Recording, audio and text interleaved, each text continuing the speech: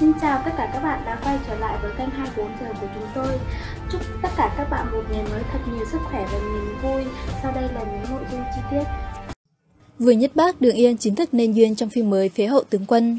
Mới đây, mạng xã hội xứ Trung bất ngờ lan truyền thông tin cho biết bộ tiểu thuyết Đình đám Phế hậu tướng quân của tác giả Nhất Độ Quân Hoa sẽ được mua bản quyền chuyển thể thành phim. Theo đó, cặp đôi nam nữ chính được cho là đang thảo luận cùng với Nhất Bác và Đường Yên. Theo nguyên tắc, phía hậu tướng quân xoay quanh câu chuyện tình tương ái, tương sát, kiểu mộ dung viêm, đề vương biến thái, lòng dạ độc ác cùng nữ chính Tạ Lương Thang là một nữ tướng quân thiên tài. Tạ Thương Lang là một cô bé mồ côi được mộ dung viêm cứu mang, sau đó luyện thành thuộc hạ trung thành nhất. Từ giây phút độc mộ dung viêm cứu sống, Tạ Thương Lang từng thề với lòng mình sẽ vì hắn mà bất chấp cả sinh mạng. Vì mộ dung viêm nàng trở thành tướng quân vầy máu xa trường, chôn sâu tình yêu trong lòng và thành thái tự phi thế thân mà không án không hận.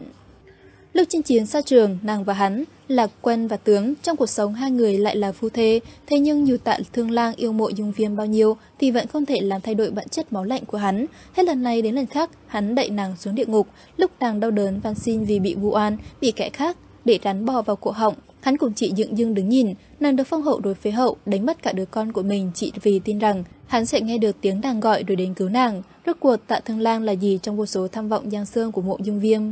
Phế hậu tướng quân được biết đến là bộ tiểu thuyết ngược đến tàn tâm, từng lấy đi vô số nước mắt, thậm chí gây ám ảnh với độc giả.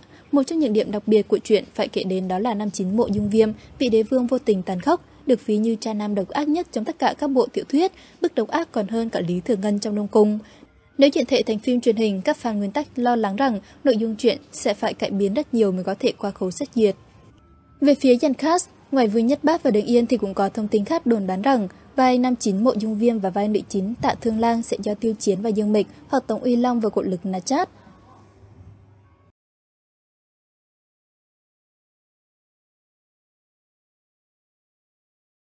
Bản tin của chúng tôi đến đây là kết thúc. Cảm ơn các bạn đã quan tâm theo dõi. Hẹn gặp lại các bạn ở những tin tiếp theo.